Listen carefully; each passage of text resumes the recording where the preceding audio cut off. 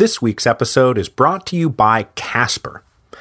Casper is an online retailer offering premium mattresses for a fraction of the price. The mattress industry has, for a very long time, forced consumers into paying notoriously high markups, with resellers and showrooms all taking their cut along the way. Casper is revolutionizing the system by offering obsessively engineered mattresses at a shockingly fair price.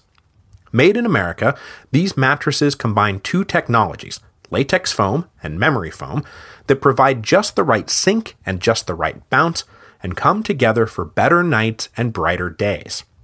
By cutting out all the middlemen, you can get a twin for $500 or a king for just $950. And if you've ever gone out mattress shopping, you know those are some pretty outstanding prices. On top of that, this is all risk free. You can try sleeping on a Casper for 100 days, and if for some crazy reason you don't like it, you can just return it and pay nothing. I, of course, now have a Casper mattress of my own, and the whole family approves. Mrs. Revolutions and I have slept great, and the boy has put it through a fairly rigorous product testing program that involves jumping onto it, jumping off of it, and then just sort of jumping around on it and he couldn't be happier about this fun new toy that just showed up on his doorstep one day. So, if you want a better mattress and you want to pay a fair price, go to casper.com forward slash revolutions and use the promo code revolutions. That will get you 50 bucks off any mattress you want. That again is casper.com slash revolutions, promo code revolutions.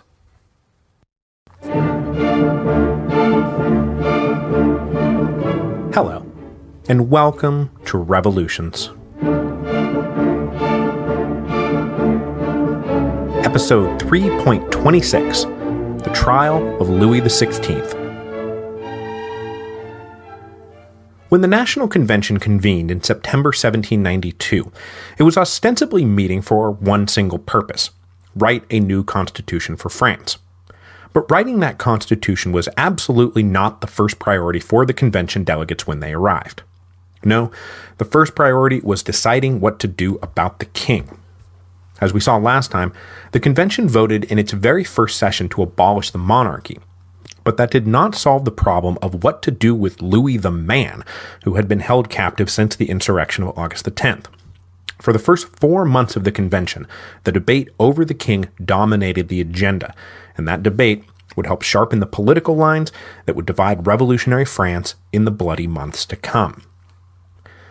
Now, luckily for the delegates of the convention, they were allowed to turn the fate of the king into a factional struggle for power without fear of foreign invasion. I'm going to double back on the war front next week because today I want to focus exclusively on the death of the king. But just know that after the miraculous victory at Valmy turned the Allied armies around, General Dumouriez put the French army in motion invaded the Austrian Netherlands, and successfully overran the territory.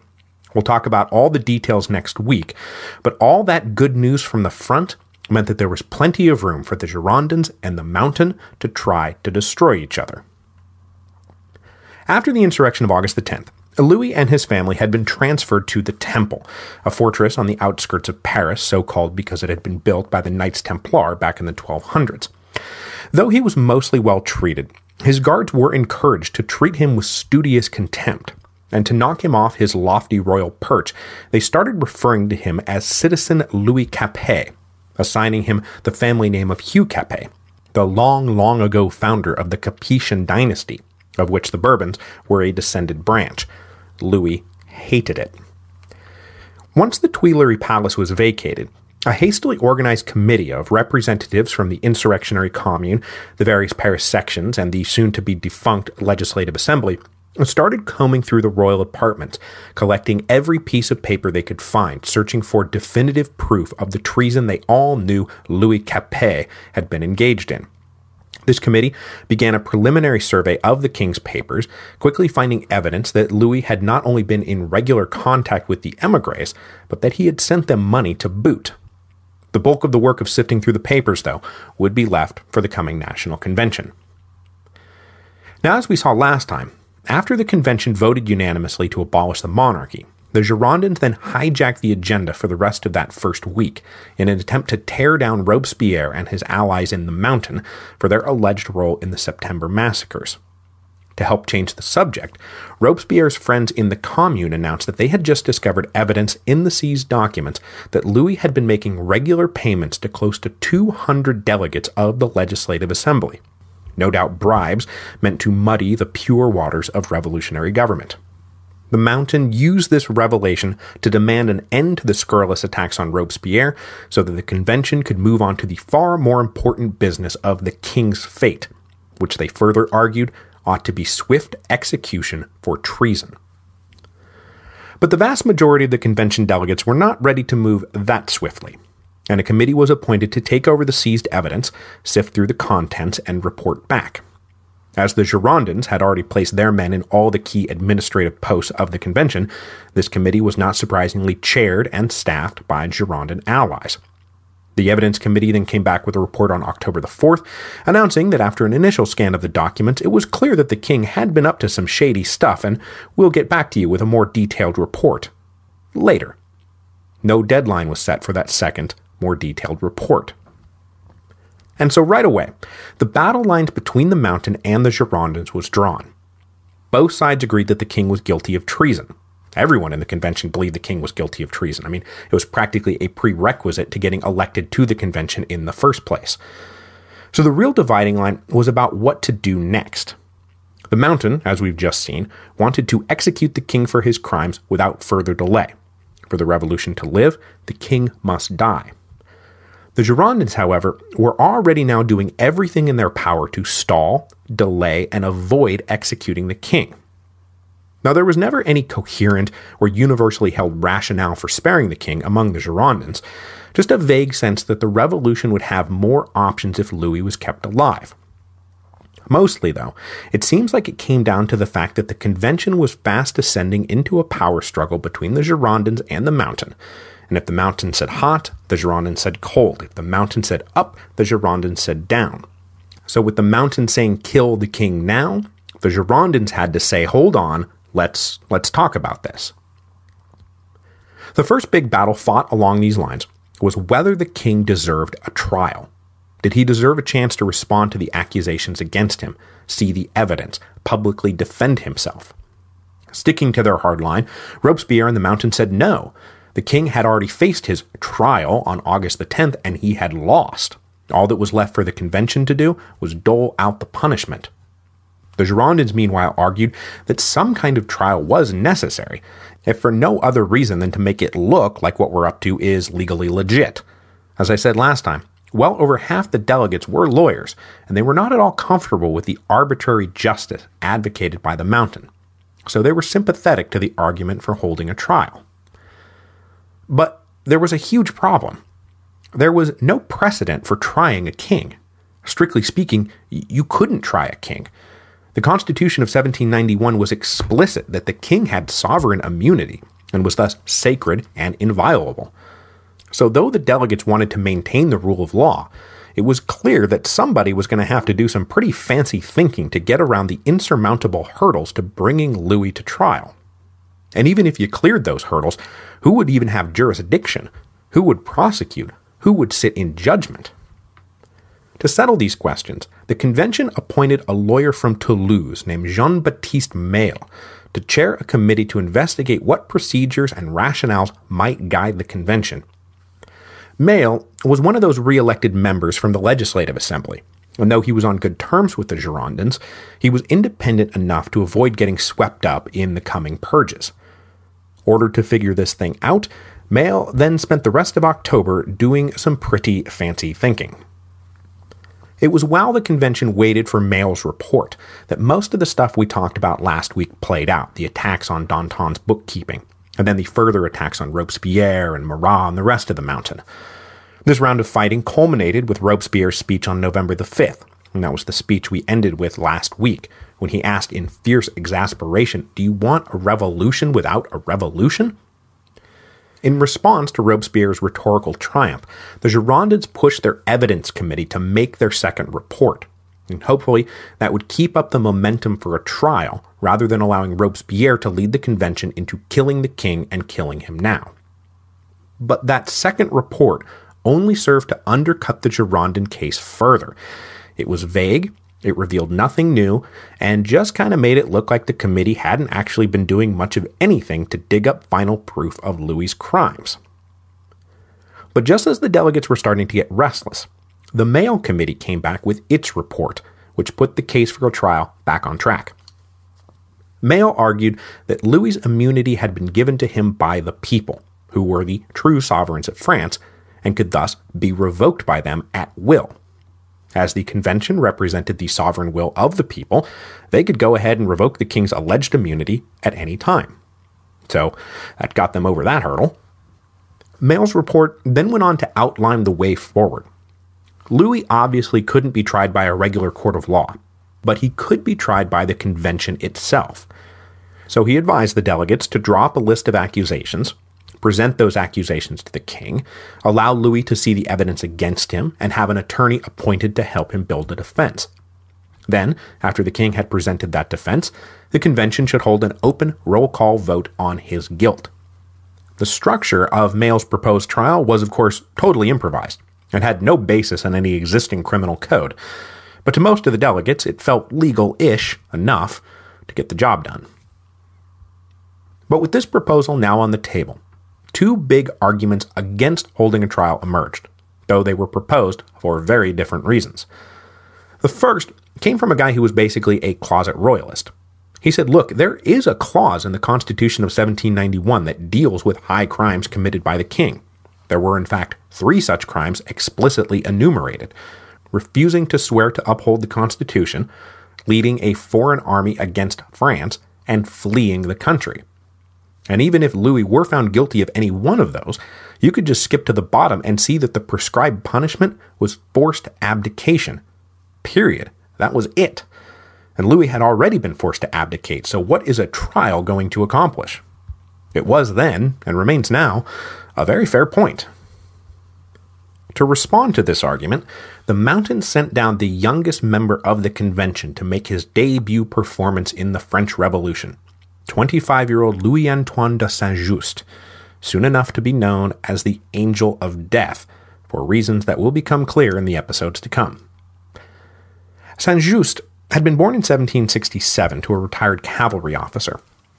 His father died when he was 10, but his mother managed to scrape together enough money to send her young son off to a good school. But as Saint Just grew up, a few things became clear. He was super smart, super handsome, and super egotistical. He was flippant, arrogant, and just did not believe the rules applied to him. Basically, the epitome of the obnoxious teenager every adult utterly despises. When he was 19 and possibly heartbroken over losing a woman to another man, Saint Just stole all his mother's silver and two pistols and disappeared off to Paris. The police managed to track him down, and he was stuck in a reformatory for six months. After getting out, he briefly studied law, but it didn't take. Instead, he decided that he was a literary genius. In 1789, he published a long satirical poem that brazenly attacked just about every key institution of the Ancien regime the monarchy, the church, the aristocracy, and those sustained attacks were broken up only by scenes of graphic pornography because, of course, they were. It turned out, though, that Saint Just was not a literary genius. When censors caught wind of the poem and set to work tracking down copies to confiscate, they had trouble finding any, because nobody actually bought the thing. But when the revolution hit, Saint Just found his calling. Unemployed in 1790, he joined his local National Guard unit, showed an amazing capacity for enforcing military discipline, and was soon promoted to lieutenant colonel, despite being just 23 years old. During this period, he took up a correspondence first with Camille Desmoulins, now a major literary celebrity, and Maximilien Robespierre, the incorruptible leader of the Jacobins. Saint Just lavished praise on Robespierre, and Robespierre reciprocated with a kind of long distance mentorship. Saint Just was still too young to fully participate in the real action in Paris, so he wrote a book called The Spirit of the Revolution that reflected on the new political principles that ought to now govern France but it too went totally unread. Saint Just's stymied ambitions, though, suddenly caught a break with the insurrection of August the 10th, because he cleared the minimum age requirement to stand for election to the National Convention by one month. Thanks to his prominence in the local National Guard, when he was elected, he was elected by far the youngest member of the new assembly. Saint Just's maiden speech on November the 13th was an immediate sensation. In an era that loved great oratory, it was apparently a masterwork. Even Brissot admired the performance.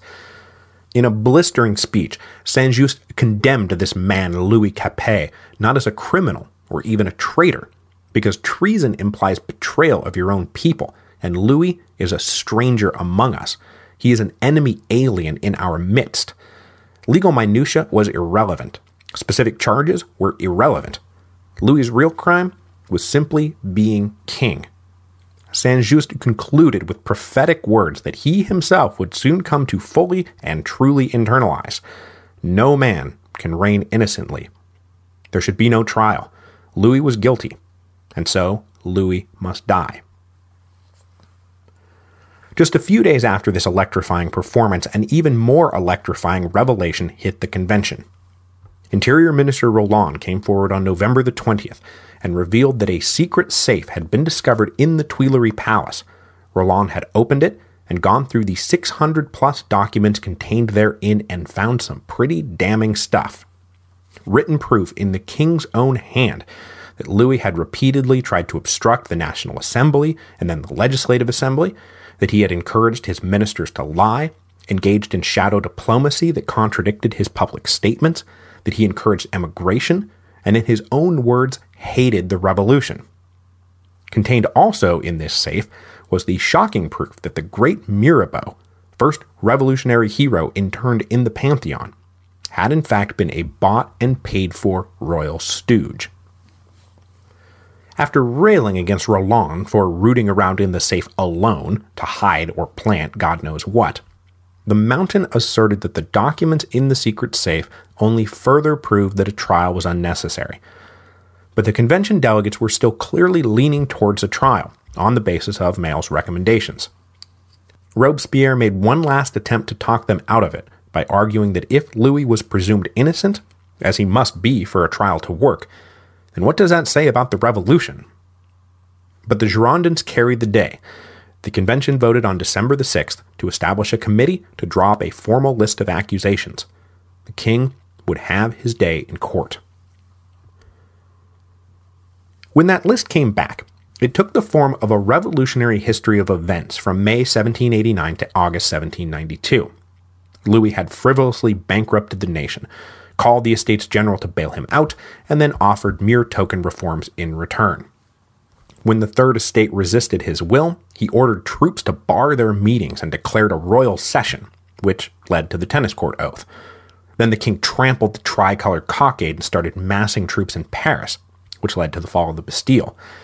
He later delayed the promulgation of the Declaration of the Rights of Man, and through it all he bribed delegates and conspired with counter revolutionaries, then, after the Legislative Assembly convened, he obstructed the will of the people by continuously vetoing their legislation.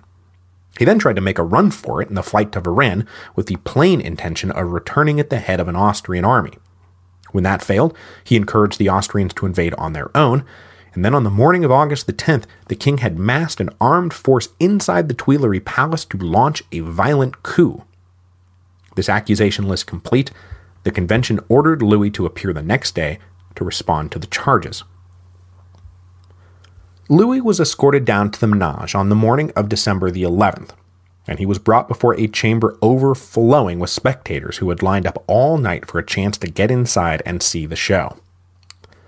After reading the accusations through in full, one of the convention secretaries then went through it all point by point and demanded Louis respond to each charge. Though he was hearing all this for the first time, the deposed king had an answer for everything. What law did I break when I ordered the royal session? Moving troops around is my right as king. The story about the trampled cockade is a lie. I only delayed the promulgation of the Declaration of the Rights of Man because I had some revisions I wanted made. The Constitution of 1791 specifically gave me the right to veto legislation, so how could exercising that veto be a crime? And as for the events of August the 10th, the idea that I gathered troops to launch some kind of attack is absurd. Paris had gone into revolt. An armed mob was on the way.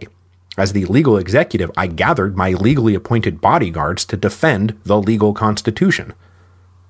But though Louis had an answer for everything, some of his answers were obviously lies, as when he asserted that the flight to Varennes had been a harmless family vacation that had just been wildly misinterpreted.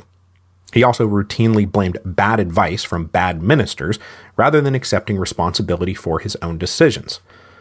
But the most maddening bit came when Louis started being handed the various pieces of paper that proved this or that charge, papers often written in his own hand.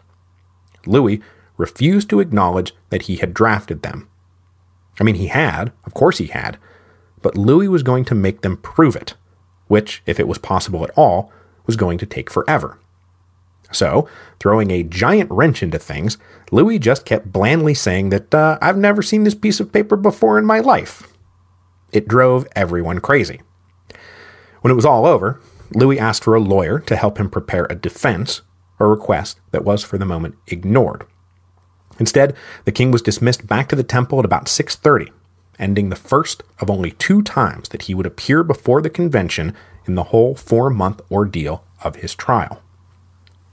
The next day, a delegation came over to the temple to tell the king that they had voted to allow him counsel. And in the end, he wound up defended by three lawyers, one of whom Louis requested, the other two volunteered. When Louis huddled with his team, there were essentially three strategies open. He could go the full King Charles and refuse to acknowledge the competency of the convention to try him. He could go in the opposite direction and beg for mercy, or he could accept the legitimacy of the trial and fight it out. Given his performance on December the 11th, it was clear the direction Louis wanted to go. He intended to present himself as a wrongly accused constitutional monarch, the framework of his defense would be that he could not be held responsible for anything that had happened before he accepted the Constitution of 1791, and since his acceptance, he had broken no laws, committed no crimes, and done nothing to break his oath to uphold that Constitution. Meanwhile, back in the convention, the delegates decided to bypass the legal conundrum created by Louis's refusal to recognize his own handwriting. They simply voted on December the 15th that all the documents were authentic. Problem solved. Now, this solution was, of course, wildly at odds with some of the most cherished legal doctrines held by the lawyer delegates. I mean, you're not supposed to be able to just declare evidence authentic. But they were all now getting a lesson in just how quickly expedience can come to trump principles. No one, it seems, can reign innocently. The convention then dumped the evidence in the king's lap on December the 17th and said, uh, Look it over, have your defense ready by December 26th. Surveying the mountains of paperwork, the king's lawyers pointed out that this was clearly not giving them anything resembling adequate time to prepare a defense, which was another one of those cherished legal doctrines. But the convention ignored the complaint, so Louis's lawyers basically didn't sleep for a week and a half as they tried to cobble together some kind of coherent defense. On December the 26th, Louis once again made the coach ride to a packed menage to present that defense. The session began at 9 a.m., and after a few preliminaries, the youngest of Louis's lawyers took the floor. The hours long oration he delivered covered a lot of the ground we've already discussed, so there's no need to go into too much detail here. But he said, you know, whatever the king's crime, the only punishment prescribed in the Constitution of 1791 is forced abdication, and that has already happened. Also, this whole proceeding is illegal and has flagrantly ignored rights granted to the accused, rules of evidence, access to witnesses. I mean, everything we say we believe in. The meat of the oration, though, was a royalist spin on the history of the revolution. Louis had voluntarily given up his powers after calling the Estates General. Nothing he had done since accepting the Constitution of 1791 had been illegal. Vetoing legislation, that wasn't a crime. That was his explicit right and, frankly, his duty. Sure, he had sent money to friends in need, but that just showed that he was a generous man. And as for this business about August the 10th, I mean, my God, how much can you twist that story? Louis was going to march out at the head of 900 Swiss guards and seize control of Paris? Are you joking? Louis was merely trying to defend himself, as the constitutional sovereign, from an illegally armed mob. When the lawyer finished up, the king was given the last word. Louis reiterated his horror at being blamed for spilling the blood of his people, which he had never intended and certainly never ordered. Then he said simply that his conscience reproached him for nothing. In his heart, Louis truly believed that he was innocent. And then the king was escorted back to the temple. He would not appear before the convention again. Back in the convention, the mountain called for an immediate vote. Saint Just came down and argued that whoever Louis the man was, whatever his version of the story was, we need to kill the king to cement the foundation of the Republican Revolution. Forget about the man, focus on the symbolism. But the convention was clearly wavering about what its next move ought to be. And that's when the Girondins drew the next great battle line in the sand, when they proposed an appeal to the people. The gist of the appeal was that the convention's ruling ought to be ratified in the tens of thousands of primary assemblies across the nation. The logic of the appeal as presented by the Girondins was simple. The convention was deliberating under the dangerous eye of the Paris radicals, and their final verdict couldn't help but reflect the influence of that dangerous eye. For the true will of the nation to be known, the question must be put to the nation. The mountain, of course, went crazy. Robespierre led the opposition by saying that this has nothing to do with high minded republicanism or taking the pulse of the nation. This is a naked stall tactic. It will take months just to get the primary assemblies together, and then for them to make an informed decision, they'll need to see all the evidence, which will take forever. I mean, you got your trial. You made your accusation. The king has made his defense. What more do we need? The faction from the Gironde is just trying to get Louis off the hook, and don't think that we don't see this all for what it really is. For the next two weeks, the convention raged back and forth over the appeal to the people. By the first week of January, though, the majority of the delegates were exhausted from the debate. It was clear that this was as much about the Girondins and the Mountain taking shots at each other as it was deciding the fate of the king. So that exhausted majority cut through the bickering, and a set of decisive roll call votes was scheduled to begin January the 14th.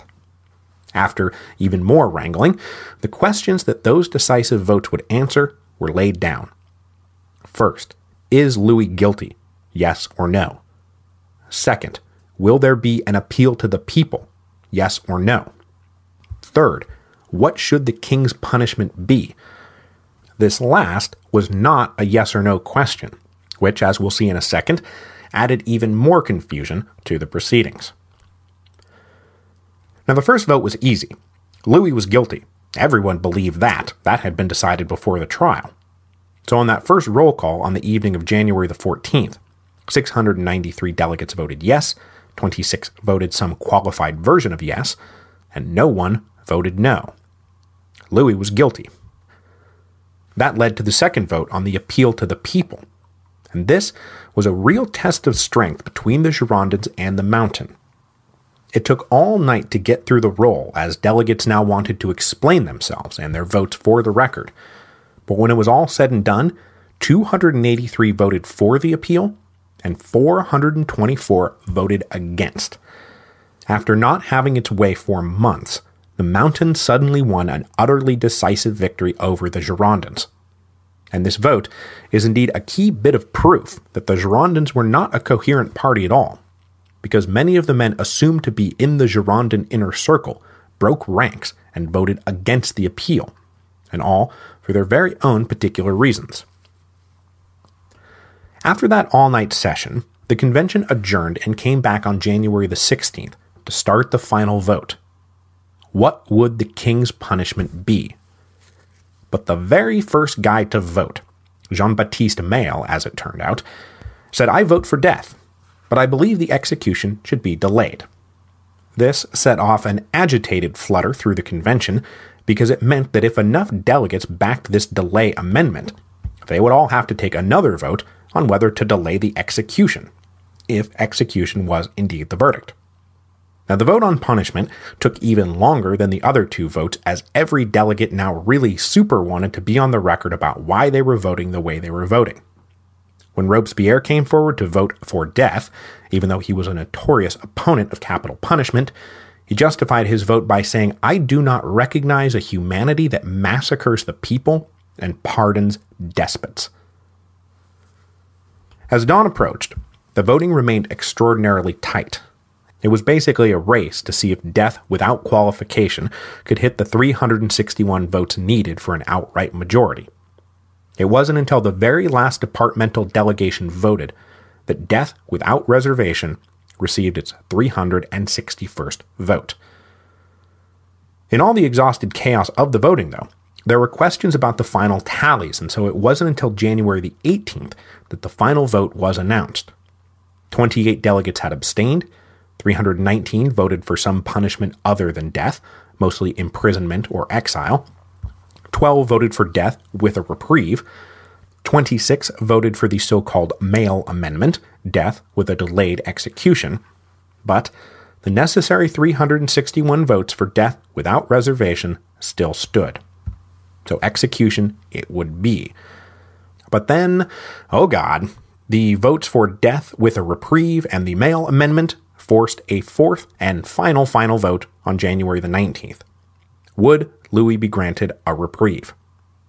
This time things moved quite a bit quicker. 310 said yes, reprieve. 380 said no, reprieve. And that was finally that. At 3 a.m. on January the 20th, the convention approved its proclamation announcing the votes and saying that Louis was sentenced to death and that he would face his punishment within 24 hours. The convention had just spent four months debating his fate, and there would be no further delays. Now, Louis had known since the unofficial tally came through on January the 17th that he was a dead man, and he started making preparations. He requested that he be allowed a priest to come and pray with him and give him his last rites, a request that was granted. He also asked for his copy of David Hume's History of England so he could study up on Charles I, just about the only other man in history who could possibly know what Louis was going through. He spent his final night with his family, and even managed to get a few hours sleep. At 8 a.m. on the morning of January the 21st, 1793, the executioner of Paris escorted King Louis XVI into a waiting carriage. The carriage then embarked on a slow and deliberate journey from the Temple to the Place de la Révolution, formerly known as the Place de la Louis XV, and now known as the Place de la Concorde. To prevent anything from even considering possibly maybe going wrong, soldiers were lined up four deep the entire route. The gates and walls of Paris were heavily fortified, and every section was ordered to have guards in place everywhere. In all, something like 80,000 men were under arms that day. Nothing went wrong. The carriage arrived at the Place de la Révolution at about 10 a.m. 20,000 Parisians were crammed in for the most unprecedented execution in the history of France. Carpenters had erected a scaffold near the center of the square facing the Champs Elysees, and the machine, the guillotine, sat silently atop the scaffold, blade poised. The executioners attempted to strip Louis of his overclothes, but the king shook them off, and with great dignity took them off himself. Then he climbed the scaffold. Upon reaching the top, he spoke his final words. I die innocent, he said. I pardon my enemies, and hope that my blood will be useful to the French, that it will appease God's anger. But before he could say any more, the general in charge of the day's events ordered the drummers to start up and cut the king off. The executioner then laid Louis on a plank stuck his head through the fatal hole of the guillotine, and then, zip, thud, the end. The king is dead. Long live the revolution. Louis XVI was not a bad man. He was not a tyrant. He wasn't even a particularly bad king. As I mentioned way back when, had Louis lived in less tumultuous times, he probably would have gone down in history as a perfectly forgettable placeholder liked but not loved, certainly not hated. but he lived in very tumultuous times.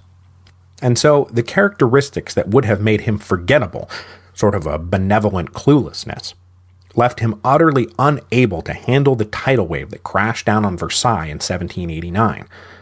Nothing he did caused the French Revolution. The pieces were already in place when he showed up, and as we saw through the early episodes, his ministry made numerous attempts to patch the ship before it sank. But Louis just didn't have the spine to do what needed to be done. Now, Charles I's great sin was inflexibility. Just maddening and damning inflexibility. I mean, my God, Charles, nobody wanted to kill you. Louis XVI's great sin was overflexibility. The slightest pushback and he bent, whichever way you wanted him to bend. He could have forced through all those judicial and administrative reforms his ministers were pushing for back in the 1770s and 1780s. And had he stuck to his guns and had their back, maybe things would have turned out different. But anytime things got rough, Louis put his guns down. This running indecisiveness made a mess of things once the revolution got going. One minute he was embracing the revolution, the next minute he was rejecting it, and he was tragically prone to taking the wrong advice at any given moment. He was soft when he should have been hard, hard when he should have been soft. I think the most revealing incident was that royal session that was finally held after the drama of the tennis court oath.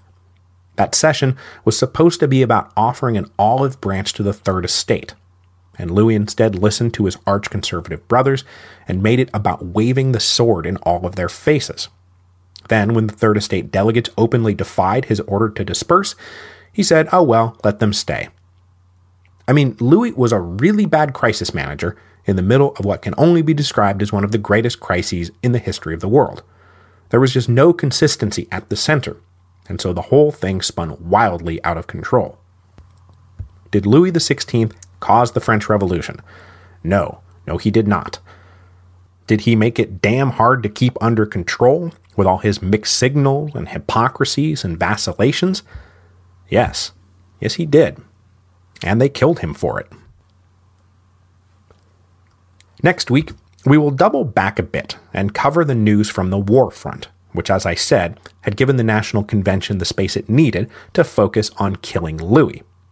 And then we will move forward towards the spring of 1793, when the bitter struggles between the Girondins and the Mountain will soon lead to yet another popular insurrection.